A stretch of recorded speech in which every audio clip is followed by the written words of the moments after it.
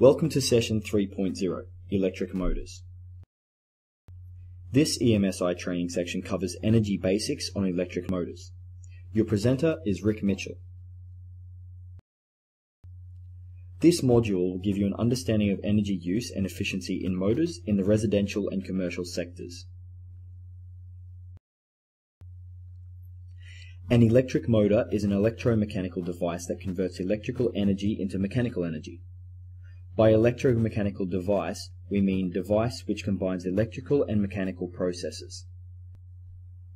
Electric motors are found in applications as diverse as industrial fans, blowers and pumps, machine tools, household applications, power tools, and disk drives. They may be powered by direct current, DC, provided by batteries or by alternating current, AC, from an inverter or electrical distribution grid. Here we'll look at motors across four aspects. Motor components, motor types, motor losses, and motor efficiency. However, it is important to note that electric motors are commonly used in industry processes to drive a separate unit like a pump, compressor, refrigeration or HVAC system. It is unlikely that you will encounter a non-integrated motor in the residential or small enterprise sector. Here we'll provide an overview of motors with more specific information located in relevant sessions to follow. Motor components. Motors have two main components, a stator and a rotor, with a number of other components such as the shaft, the bearings, and the commutator. The stator is the external stationary part of the motor. It can be considered as the permanent magnet or electromagnet that houses the rotor and is usually made out of a ferromagnetic material. The rotor is the internal section which rotates inside the stator and is also composed of windings known as the armature. These are also made out of ferromagnetic material. The shaft is the object attached to the rotor, which transfers the mechanical energy generated by the rotor to the external mechanism or system. A bearing is a small mechanical device that is installed inside a machine. Its main purpose is to reduce the friction between the shaft and other moving parts without creating too much energy loss. A bearing guides or constrains the motion, either linear or rotational, between the moving parts. The type of bearing depends on the load bearing its operation and the motion that it allows. A commutator is a rotary electrical switch found in some type of motors that periodically reverses the direction of the current between the rotor and the external circuit to provide a rotating force. Electric motor types. The general working mechanism is the same for all motors. An electric current in a magnetic field will experience a force. If the current carrying wire is bent into a loop, then the two sides of the loop, which are at right angle to the magnetic field, will experience forces in opposite directions. The pair of forces creates a turning torque to rotate the coil.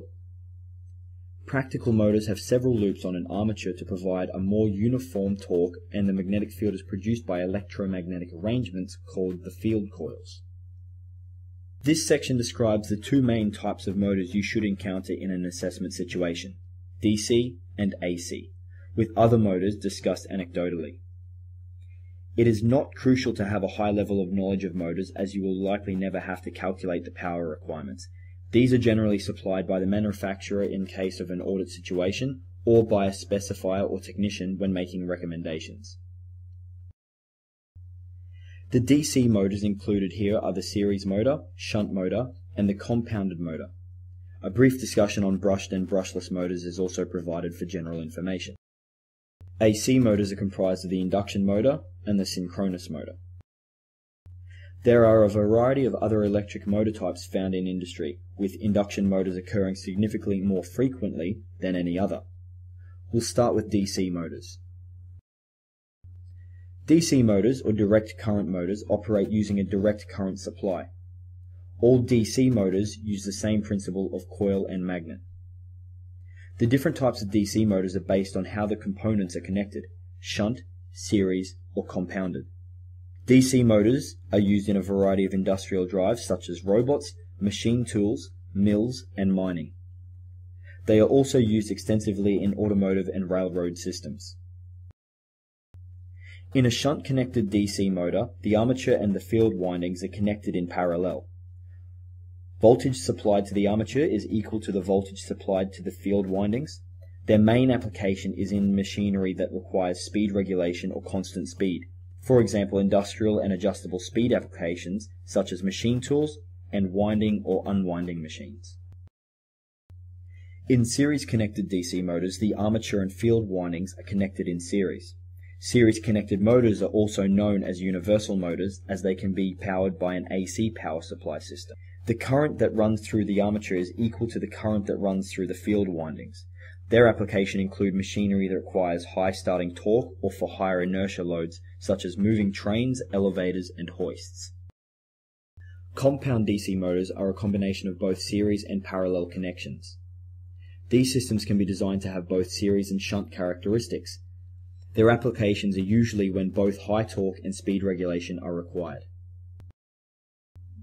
Brushed DC motors are different in construction from other motors because they consist of brushes and a commutator for current switching. The motor generates the torque directly from the DC power supplied. As the motor turns, the brushes slide over the commutator, and as they come into contact with it, generate a dynamic magnetic field. Advantages of a brushed DC motor include low initial cost, high reliability, and simple control of motor speed. The disadvantage, though, is high maintenance levels, which involves regularly replacing the brushes, as well as cleaning or replacing the commutator, as these are prone to wear. Brushless DC motors use a rotating permanent magnet and stationary electrical magnets on the motor housing. They are more commonly used than brushed motors due to their higher efficiency and lack of brushes. They have a longer lifespan and lower maintenance cost and requirements. However, they do have higher initial costs due to their complicated speed controllers. They are used in CD players, computers, and generally in equipment where reliability and efficiency are favored over cost. An AC motor is an electric motor driven by an alternating current. It commonly consists of two basic parts, an outside stationary stator having coils supplied with alternating current to produce rotating magnetic field, and an inside rotor attached to the output shaft that is given a torque by the rotating field. There are two main types of AC motors commonly used in industry induction motors and synchronous motors. A synchronous electric motor is an AC motor in which the rotation rate of the shaft is synchronized with the frequency of the AC supply current. Synchronous motors operate at a constant speed and a constant frequency under a steady state condition. Synchronous motors contain electromagnets on the stator of the motor that create a magnetic field which rotates in time with the oscillations of the line current. The rotor turns in step with this field at the same rate. Another way of saying this is that the motor does not rely on slip under usual operating conditions, and as a result produces torque at synchronous speed. Their advantages are accurate control in speed and position, for example, stepper motors and increased electrical efficiency when a low speed is required. Synchronous motors are mainly used in industrial applications where constant speed is required. This equipment ranges from pumps to mining equipment such as crushers, mills, and compressors. One key advantage is that speed is not dependent on the torque or load as they only run at the synchronous speed. It is possible to get high torques with low starting currents. Due to their power factor correction, synchronous motors help reduce energy costs and improve the power system efficiency by correcting the power factor of installed line, making them a long-term investment. The induction or asynchronous AC motor is the most common type of motor used in industry. Induction motors operate on Faraday's electromagnetic induction principle, which states that electric current is produced in a conductor moving in a magnetic field. They are called asynchronous motors because the rotor moves at a slower speed than the stator's rotating magnetic field. The type of an induction motor depends upon number of windings. An induction motor possessing a single winding is called a single-phase induction motor. This is commonly used in households where less power is required. Due to having a single winding, these motors re require auxiliary windings to start up. Three-phase induction motors are used in commercial or industrial sectors where loads are heavy. This motor can self-start because of the high number of windings. Asynchronous motors are used extensively in industrial, commercial, and domestic applications. They are used in refrigerators, freezers, fans, washing machines, and machine tools to name a few. They are mainly used to contrast speed applications but can be easily modified to include a variable speed drive to modify or control the speed. Some advantages of these motors are their low cost and maintenance and their simple design. Power to AC motors can be supplied in two different ways. Single phase is where the distribution of the alternating current using a system where a single voltage is, is supplied. They are used mainly in smaller applications or domestic use.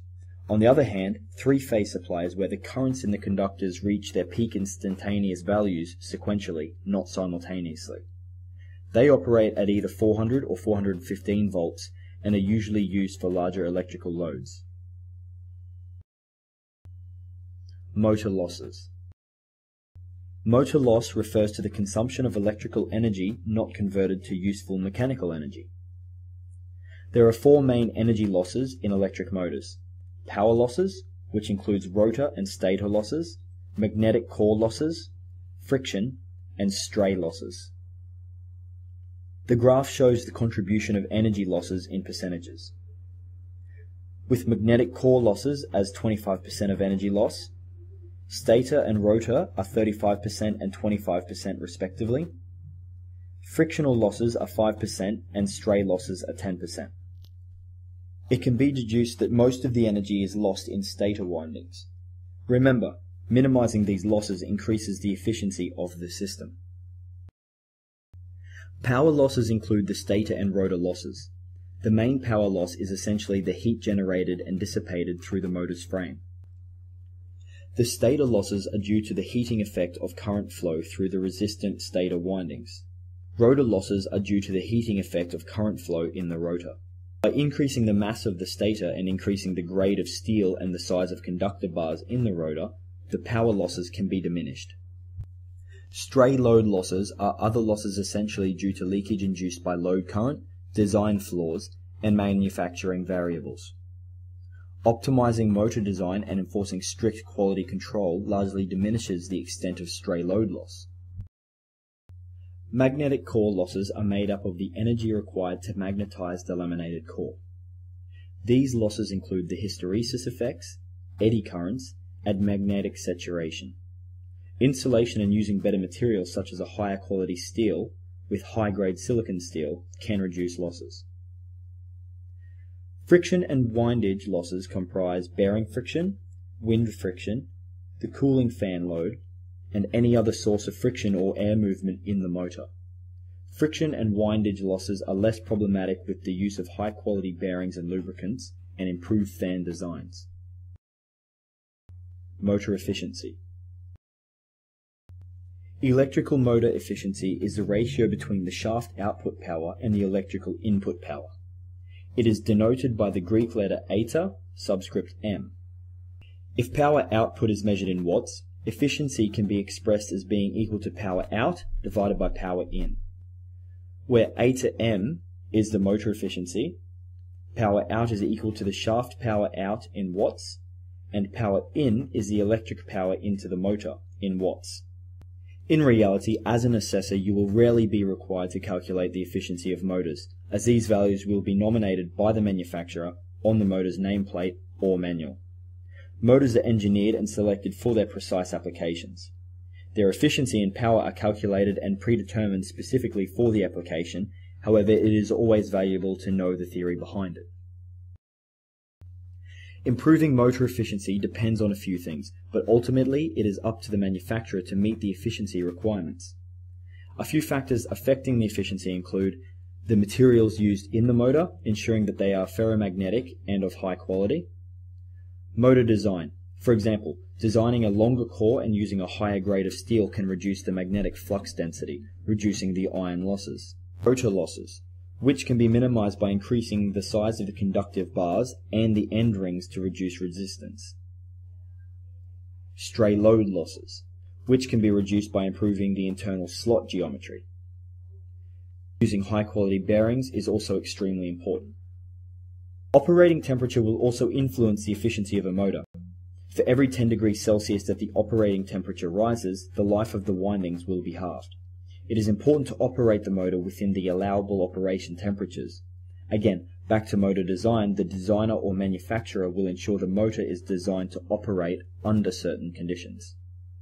Maintenance is one aspect that the client can and should be involved in. As an assessor, you should also ensure that all manufacturers' recommendations are being followed. Providing regular maintenance to the motor will help improve efficiency as well as prolong the equipment's and system's life. Some things that you should consider when using a motor are detailed here. Always make sure that the motor being used is correctly selected and sized for the relevant application. Using the incorrect motor can damage a system and increase costs in the long term. Motors should be installed correctly as per the manufacturer's specifications. Ensure that the wiring is completed correctly. Reversed wiring will cause the motor to turn the wrong direction. The voltage and current supply should be acceptable for the motor's capacity. In general, ensure that the motor and its accessories are adequately installed, including fan cover and circuit breakers to ensure the safe performance of the machine. Remember, a more efficient motor will consume less power and produce less carbon emissions than a standard motor. Overloading a motor can cause misalignment in the actual load being driven or the shaft. It can cause the motor to vibrate and even cause the rotor to make contact with the stator, damaging the internals of the motor. Misalignment can also cause the bearings to fail or trip the overload protector on the motor, causing the motor to stop operation to prevent further damage. Motors are designed to operate at certain ambient temperatures and environments. The motor should be selected depending on the application and the environment. If an inadequate motor is installed in an environment, it is possible that the damage can be caused to the bearings. Always check the information regarding operating conditions on the motor's nameplate. Depending on the system that is being driven, a variable speed drive or a VSD can be installed to regulate the motor's work. VSDs will be discussed in more detail relevant to their specific application in the following sessions. Some motors are also subjected to energy ratings.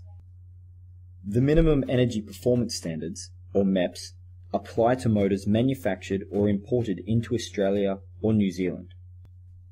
In particular, three-phase motors with a rating of 0.73 kilowatts to 185 kilowatts must meet the minimum efficiency ratings set by MEPS and the Australian standard AS 1359.5. AS 1359.5 outlines the two testing methods used to measure efficiency. There are other similar international energy efficiency schemes in place to upgrade the requirements of motors. The efficiency figures can be found on the tables provided by MEPS on their website. There are some motors that do not require the MEPS and are exempt from their conditions. MEPS does not apply to the following type of motors. Single phase motors, submersible motors, integral motor gear systems, variable or multi-speed motors, short duty cycles, and rewound motors. DC motors are also not currently included in the MEPS scheme.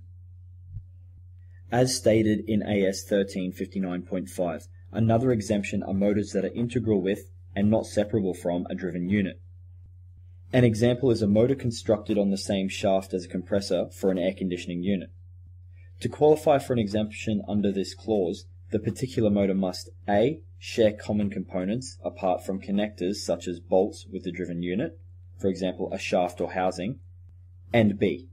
Not be designed in such a way as to enable the motor to be separated from the driven unit as an entire motor that can operate independently of the driven unit. For example, to qualify, the process of separation must render the motor inoperative. An example scenario. A Toshiba 2-pole 11 kilowatt motor has an efficiency of 91% at full load. What is its running cost based on 4,000 hours a year at 12 cents per kilowatt hour? We know that the motor uses 11.5 kilowatts at 100% efficiency, and so in practice it will use more as the efficiency decreases. So first we'll calculate the power loss. This will be equal to the motor rating multiplied by the percentage of loss, which is 100% minus 93% of efficiency. This is equal to 0.805 kilowatts. Therefore, the total power consumed is the rated power plus the power loss, which is equal to 11.5 plus 0.805 kilowatts, which totals 12.305 kilowatts. So we now know that the motor actually consumes 12.305 kilowatts.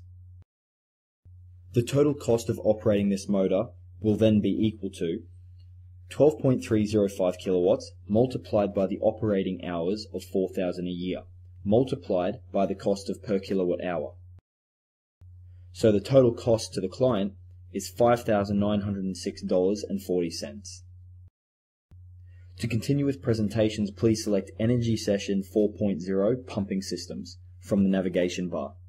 To complete the assessment for this presentation, please select Tutorial 3.0 Electric Motors.